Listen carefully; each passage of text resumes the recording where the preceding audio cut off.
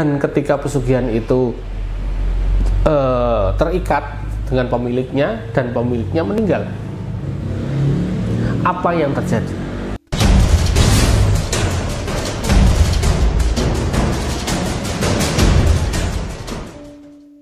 Assalamualaikum warahmatullahi wabarakatuh. Apa kabar saudaraku semuanya?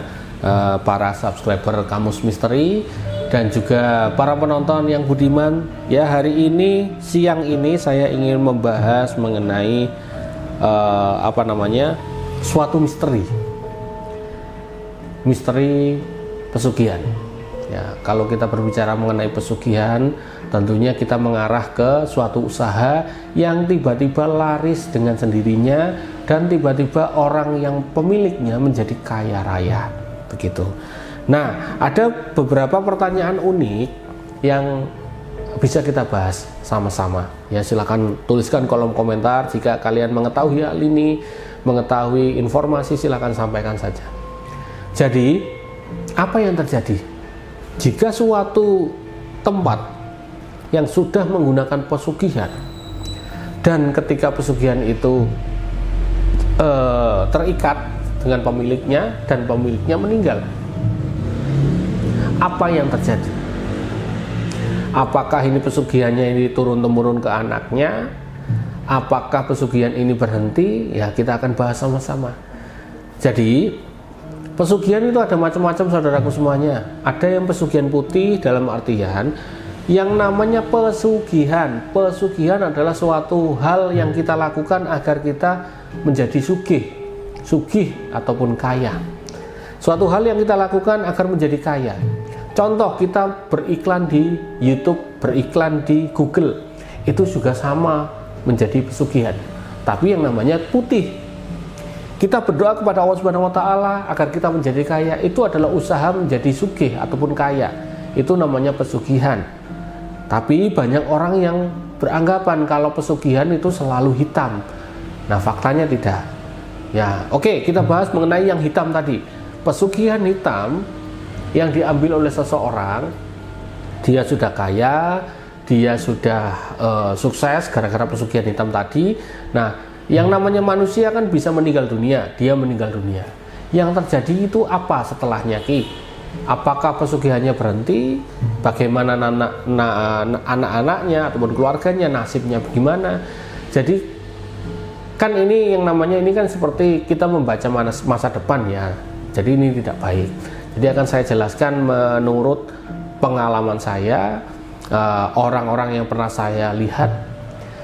Jadi uang hasil dari pesugihan hitam itu kalau orangnya, pemiliknya sudah meninggal, uangnya, hartanya, asetnya tidak akan bertahan lama. Itu yang pertama, tidak akan bertahan lama. Jadi kalau uang itu ya seperti dititipi lah ibaratnya anda dapat uang satu miliar ya dengan cara yang mudah katakanlah, tapi dititipi di situ ada tumbal katakanlah nyawa seseorang ataupun Anda harus melakukan apa. Uang satu miliar itu tidak akan bertahan lama. Mungkin Anda akan kehilangan ya tiba-tiba ditipu, tiba-tiba uh, apa bangkrut dan lain sebagainya. Itu yang bisa terjadi. Andai kata ini secara turun temurun sama anaknya, uang tadi, harta tadi menjadi rebutan, menjadi tidak berkah.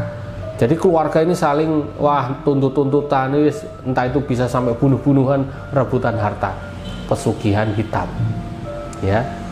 Yang pernah saya lihat semacam itu, tidak bisa langgeng.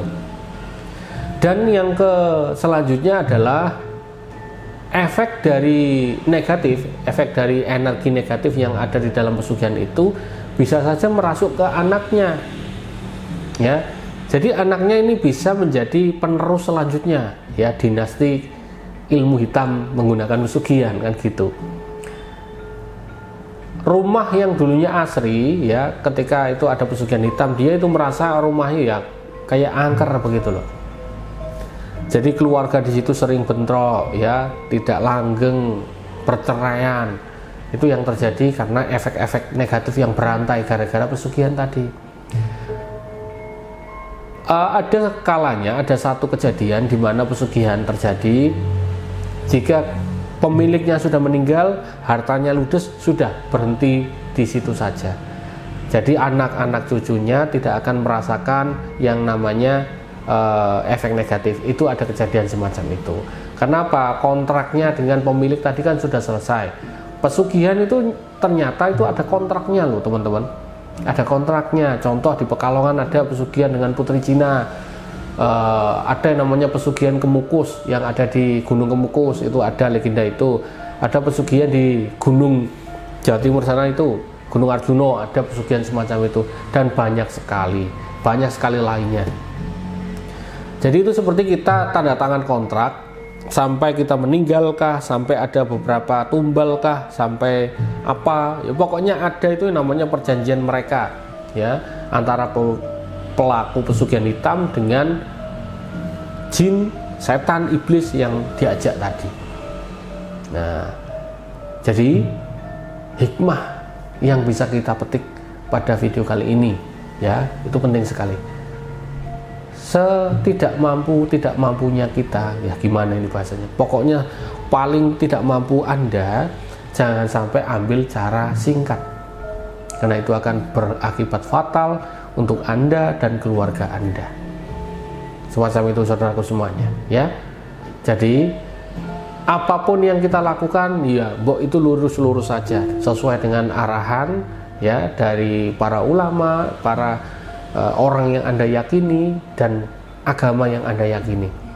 Jadi semua agama itu menunjukkan mengatur kita ya agar kita menjadi orang yang benar. Itu saja. Tergantung orangnya masing-masing. Jika orangnya berbelok, maka orang itu salah itu aja ya teman-teman semuanya semoga bermanfaat sekian dari saya wassalamualaikum warahmatullahi wabarakatuh